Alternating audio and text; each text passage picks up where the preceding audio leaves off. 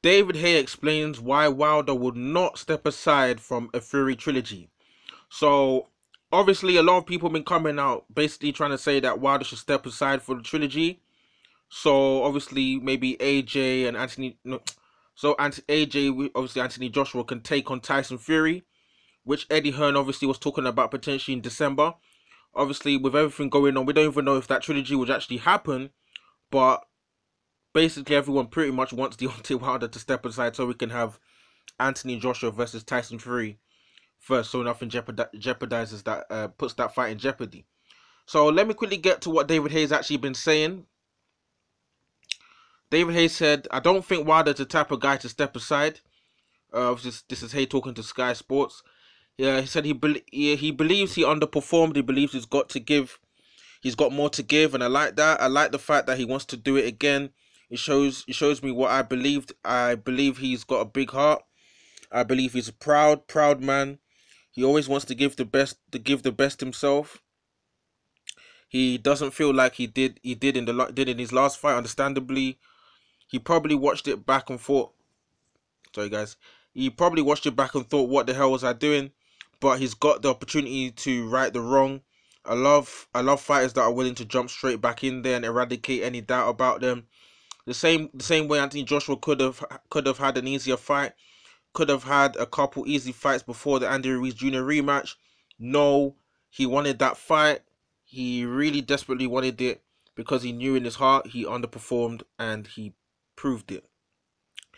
I get where both fighters' heads were at at the time of their losses. I'm pretty sure Tyson Fury would have lost that. It, it, I'm pretty sure if Tyson Fury would have lost that fight against Deontay Wilder, he'd be wanting to come back and right the wrong. So those are the words of David Haye, and I agree with David Haye as the fact that Deontay Wilder is a proud, proud man because if you look at the psychology of Deontay Wilder, 41 fights, knocking guys out left, right, and center in devastating fashion. You've grown with the nickname the Bronze Bomber everyone's hyped up Deontay Wilder as the devastating puncher that he I still believe he is. And to go there and get beat up by Tyson Fury, I think he'll be. I don't think he'll be. Obviously, nobody wants to get beaten up like the way he he, he like the way he lost. But I think in his psychology, he would really he would want to come back and right that wrong and really knock Tyson Fury out. Which is the only way I believe he actually beats Tyson Fury. I don't believe Deontay Wilder will beat Tyson Fury if it did go 12, which most people believe already. But I believe he wants to come back, right that wrong, and knock Tyson Fury. I don't see Deontay Wilder somebody that will take step aside money. Because even if you look at the track record, DAZN offered Deontay Wilder a $120 million deal to fight Dominic Breazeale and fight AJ twice in the first final rematch. He turned it down. So why in the hell would he take a, a step? Why the hell would he take a step aside money for the ring mag for the WBC and Ring Magazine against an opponent that he, he, he got beat up by, which now he has the opportunity automatically in the contract to right a wrong without really having to go much stress of having to really grapple for a fight where it's already in the contract. So if you look at it that way, I can see exactly the reason why Deontay Wilder would, would take the fight because if you look at it, why would you not want to take an immediate title shot? Someone like Dillian Whyte that's been clamoring for a title shot a lot of people say, oh, eh, oh, why they shouldn't jump straight into the trilogy. A lot of these guys are clamoring for title shot. Why would you want to go around the block at Deontay Wilder's age of 35? It's not like he's a Joseph Parker who's like 26, where he can obviously, if you, he, he loses and then he can, maybe by the time like he's 29, he's got another title shot, 28, he's got another title shot. Deontay Wilder's 35. He hasn't got the time to be going around the block looking for Charles Martins and and and and Kownacki's and all these guys. And, and and next for you and those fights you can't and this is heavyweight box you can't say it's a given. What if he tries to go around the block? I said, oh, uh, I'll, I'll, you know, I'll let me go and take two warm up fights before I fight Tyson Fury again, and then he fights uh, uh, Charles Martin, which I believe Deontay Wilder iced Charles Martin out, but it is heavyweight. But let's say he got somehow something happened, he got clipped by Charles Martin. Everyone would just say that he should have just fought Tyson Fury in the trilogy. But at the same time, some people also say De- Deontay Wilder needs to refine his skills But in my opinion, Deontay Wilder wins by knockout. Whether he refined his skills or didn't refine his skills, is if he beats Tyson Fury, it's going to be by knockout. In terms of how he would be able to knock Tyson Fury out, that is where the uh, the skills argument, which I I I, I list, uh, bend towards the skills argument a bit more, because I believe Deontay Wilder needs to be able to disguise his right hand a bit more than he does he currently is. He's very fond of these days, especially telegraphing that right hand. Can't telegraph a right hand to land on Tyson Fury. You need a bit more sophistication in terms of how to set up the set up the shot to be able to land on Tyson Fury. That's why it might be quite interesting what George Foreman might be able to bring in for Deontay Wilder in the camp. Because I think I saw somewhere that he might be in Deontay Wilder's strength team. So it'll be quite interesting to see in terms of his strategy to defeat Tyson Fury. But overall, in terms of whether Deontay Wilder should step aside from Tyson, step aside from the Tyson Fury trilogy, I feel like I think Deontay Wilder should take the trilogy, in my opinion, because as David Hayes said, uh, as David Hayes said here, he says that obviously. Let me quickly get to it. He said he he said that he probably believed that Deontay Wilder believes that he underperformed, and that he's got more to give. And I actually believe that Deontay Wilder does actually believe he underperformed, and he does have more to give. And obviously, with this, obviously before the trilogy was meant to take place in July, but now it's taking place in October as they say, I think it's meant to be October third. I think Deontay Wilder has a lot more time to with his to watch the video and see what he did wrong and see what he he has to do it in the in the in the trilogy in order to defeat Tyson Fury. It allows him to not rush into it and be like, okay, I need to go there now. I need to take on Tyson Fury now and knock Tyson Fury out with only two months. He's got more time to you know calculate his thoughts, talk with his team, and think about what is how what is the best strategy to defeat Tyson Fury, especially now bringing on George Foreman into his team. Apparently, I think that's a good move for Deontay Wilder because it show he show, it shows that he knows that he needs some extra help, extra support in order to you know devise a game plan and do the right things in order to defeat Tyson Fury.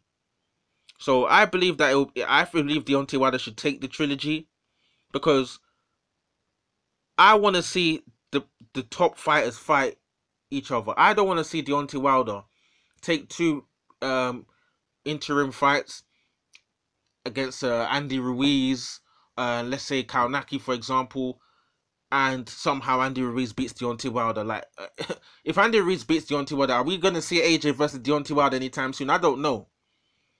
Because a Deontay Wilder with no titles, losing to someone that AJ beat, like I don't want to see Deontay Wilder getting beat by certain guys and then all of a sudden he's falling at the wayside. I want to see Deontay Wilder because of that power he's got. I still want to see him the top echelon of, of fighters. I want to see him fight Tyson Fury, and even if he was to lose to Tyson Fury in the trilogy, and then Deontay Wilder, uh, no, and then Tyson Fury fights AJ for the undisputed, there's still I, I still feel like I, still I still feel like yeah, I still feel like I, I, I will still I still for me I still want to I still want to see AJ versus Anthony Joshua, and having looked at the rankings, even if Deontay Wilder was to actually lose to Tyson Fury in the trilogy, I don't know if that loss would affect his rankings in the WBA or not, but Deontay Wilder is actually ranked number two in the WBA. So if Deontay Wilder was to take on Tyson Fury and lose, Deontay Wilder still has a route to the world title. He's ranked number two in the WBA. I think Trevor Bryan is ranked number one in the WBA. So there could be a route for Deontay Wilder back to the title, world title, if he was to actually lose to uh, uh lose to Tyson Fury in the trilogy. Because if Deontay Wilder was to lose to Tyson Fury in the trilogy, and then set up a fight with American Trevor Bryan, knock him out, and then all of a sudden, he, he, Deontay Wilder's positioning himself as a mandatory challenger to most likely, or let me not say most likely, could actually be Anthony Joshua. So, it, so actually, the fact that Deontay, there's no actually, Deontay Wilder might not actually be out of big time boxing just because he loses to Tyson Fury in the trilogy. There, is a route for him in the WBA, but as I said again, I want to see Deontay Wilder in the trilogy because I don't want to see him go fight no interim fights and then get beat by some guys, and all of a sudden we're not seeing Deontay Wilder in the top fights. But the guy can punch. I want to see him there. With, I, I, I just want to see Wilder fight Anthony Joshua. Let me put it that way. I don't want to see him fall at the wayside, and all of a sudden, you know, people. This is all about risk and reward. If Deontay Wilder gets get uh, uh take some interim fights and he gets beat by Andy Ruiz, his stock is gonna go down, especially after getting beat by Tyson Fury and then all of a sudden, I don't know if the vibe for seeing AJ Wilder is going to be the same. That's why I still want to see Wilder take on Tyson Fury the trilogy, and then if he loses the tri- if he wins the trilogy, then he can set up an undisputed against AJ. If that's if he wins the trilogy, if he loses the trilogy against Tyson Fury, then he still has a route he can take through the WBA if he's still ranked number two. So that's my opinion uh, I agree with David Haye that obviously that Tyson that Deontay Wilder's a proud man with the bronze bomber persona, devastating knockouts left, right, and center. He's been hyped up as the hardest puncher in the heavyweight division, hardest puncher of all time, and to just go there, take step aside money, and then go uh, and then and then not even not fight Tyson Fury. I don't think I don't see that as some as part of something Deontay Wilder will do. On the other hand, if Deontay Wilder was to accept step aside money and then mandate put get somehow get something put in the contract between Joshua and Fury that one of them must fight and not to um put this way to you know speak to Tyson Fury's team and somehow the contract between AJ and Fury something stipulated that the winner must fight Deontay Wilder would that be a good move for Deontay Wilder maybe but wouldn't Deontay Wilder have to fight somebody in the interim before you know he can't just wait around for AJ versus Tyson Fury? He might have to fight someone in the interim, and I don't want to see Deontay Wilder fight Andy Ruiz and then somehow get beat. I I I just don't. I, I want to see this the way I want it to pan out. I want Deontay Wilder to take on Tyson Fury. If Tyson Fury, if Deontay Wilder wins, I want to see these two big punches in AJ versus Wilder take on each other if Wilder was to lose, uh, then I would still want to see AJ versus Wilder, but I think it would be much less likely to happen in terms of stock and obviously people. Eddie Hearn has had a reputation of talking about Wilder can't sell and all that.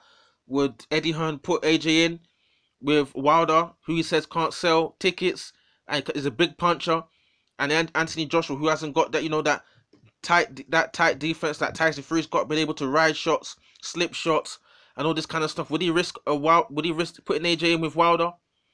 No belt Wilder. Uh, Wilder who's who who, who lost to uh, Tyson Fury and potentially could have taken an interim loss. I don't think Eddie Hearn will take that risk. So I want to see AJ versus Wilder fight. That is what I want to see. So the way I'd like to see, I'd like to see Wilder take on AJ, Wilder take on Fury in the trilogy. If he beats A, if he beats Fury, he could take on AJ. And if if if Wilder was to lose to Fury, he still has the route through the WBA rank number two. He could potentially find a route to AJ through there if AJ still has the belt. So drop your comments in the comment section below. What do you think about David Haye saying Wilder will not step aside from the Fury trilogy? Drop your comments in the comment section below. Cool.